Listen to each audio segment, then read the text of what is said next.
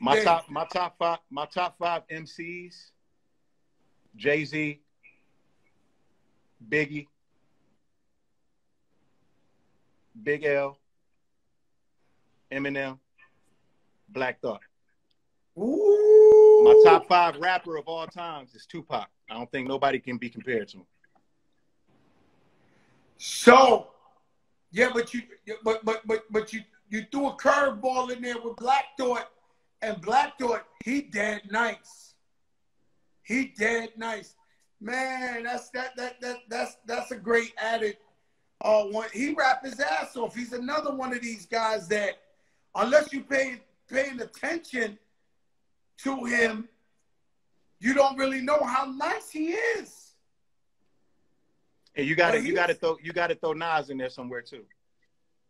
Yeah, well, that was five, man. You now you threw seven in there, boys. You could count. That's You why know- that's why that's why I think it should be broken down generations. You know what I mean? At that It's like- point, we'd be writing an encyclopedia.